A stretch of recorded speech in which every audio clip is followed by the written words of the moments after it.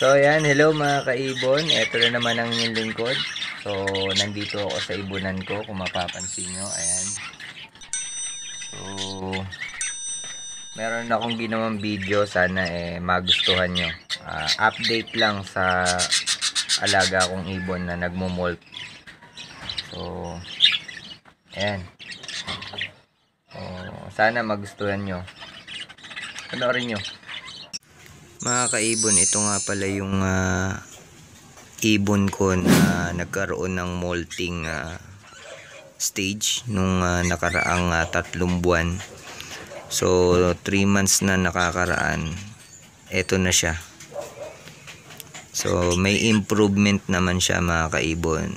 Di katulad nung nakaraang ah, balahibo niya talagang sobrang ah, pangit talaga. So ito siguro mga 1 month na lang to. Ah, magiging okay na yung balahibo nito. So wala namang problema kung ibibreed natin. Actually binreed ko na siya. So yung hen nandun sa nest box. So ito kasi ah, male uh, parakeet to. So ayan siya. So dati ang itsura niyan mas malala yan mga kaibon. So kung napapansin nyo sa screen, ganyan ang itsura niya dati. So ngayon ito may improvement na. Simple lang naman ang ginawa ko. Yun nga, ah, paliguan natin ng ah, tubig na mayroon siyang ah, wash out shampoo. Yun, hinahalo ko sa tubig yun din. Pinapaliguan ko. Actually may video yan eh. Yung ah, pagpapaligo ko sa kanya. So, ganun lang ginagawa ko paliguan tapos uh, binibetrasin ko rin. Kasi minsan yung mga uh, nagmumolt na ibon talagang ano eh uh, madalas sila magkasakit. Minsan nagtatae minsan sinisipon. So yun hindi ko muna siya pinakakain ng uh, kangkong. Kasi ang kangkong parang ano siya eh, malapit siya sa yung mga uh, internal ano uh, uh, disease. So Basta ang proseso ko kapag ka meron akong mga nagmo-molting na parakit, hindi ko pinapakain ng kangkong. Yun lang.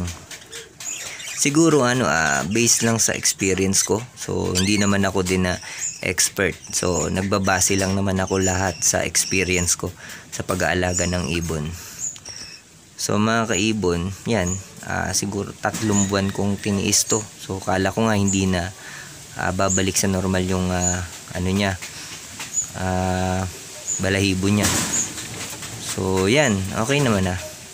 Siguro ano weeks na lang to. Maayos na to. So ano lang yan eh. Possible din kasi na masyado siyang bored. Kaya kinukutkot niya ang balahibo niya. And then possible din na meron siyang uh, French molt or matinding uh, molting stage talaga So basta kapag ka ang ating alagang ibon mga kaibon ay eh, nagmumolt talagang mahina sila sa mga sakit. Kaya talagang pakainin natin sila ng mga dapat pinapakain at importante vitamins. So ito ano ang ginawa ko rin dito yung mismong dahon ng oregano. Dinidikdik ko yun tapos yung pin, pinapahid ko sa balahibo niya para mag-iba yung amoy. Kasi minsan ano eh ah, uh, kapag uh, hindi nagbabago yung amoy ng balahibo niya kukutkut at kukutkut niya kukutkutin pa rin niya yung uh, kanyang balahibo hanggang sa makalbo siya. So kapag uh, may oregano uh, okay na nagbabago yung timpla ng ano ng amoy ng balat niya. At saka iwas din sa mga lamok. Hindi siya nilalapitan ng mga lamok. So yan So yung pair niya nasa nest box eh. Hindi ko ginagalaw, hindi ko hindi ko kasi pwedeng tingnan dahil ano eh.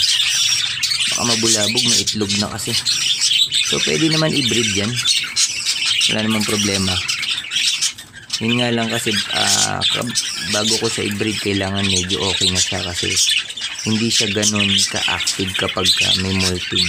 So kahit magkaroon ng inakay yan, hindi yan ano, hindi yan magpapakain ng inakay kasi nga syempre irritable pa siya sa balahibo niya so ngayon mga kaibon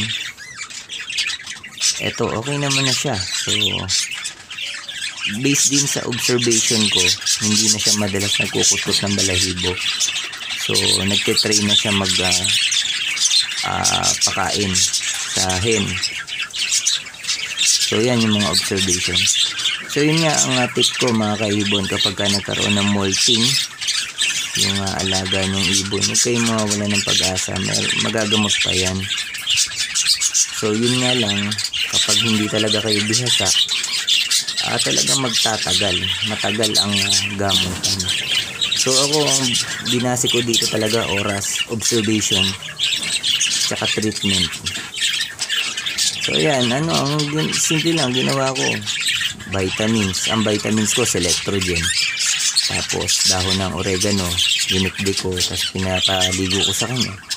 Then, wash out, shampoo, ginamitan ko siya. Tapos, binibilad ko siya sa araw, mga kaibon, para magkaroon naman siya ng, ano, ah, vitamin C. Kasi kailangan yun. Kailangan ng balat niya ng sinag ng araw. So, ayan mga kaibon, sana nakatulong sa inyo itong video na to. Ito talaga, napakahirap talagang gamutin, lalo na kapag ka sobrang molting siya, yung ibon. So, mga kaibon, na sana eh, ah, may natutunan kayo sa video ko. So, happy birthday mga kaibon. Sana eh, suportahan nyo pa rin ako sa mga video na ina-upload ko. Pasensya na kung hindi bihira na ako mag-upload ng mga video. Sobrang ah, busy kasi sa trabaho mga kaibon. Sa, at sa pagko-crossbreed ng ibon kaya medyo talagang hirap na hirap. Pero huwag kayong mag-alala mga kaibon. Talagang mag-upload at mag-upload ako kapag ka nagkaroon ako ng oras. So ayan mga kaibon hanggang dito na lang sana eh nag-enjoy kayo sa panibagong video na in-upload ko. So, see you next vlog ulit mga kaibon. So, kung bago ka pa lang, sana eh, mag-subscribe ka naman. so, salamat nga pala sa mga sumusuporta sa akin. Sa mga kaibon natin. So, thank you, thank you sa inyo lahat. Maraming salamat po. God bless mga kaibon.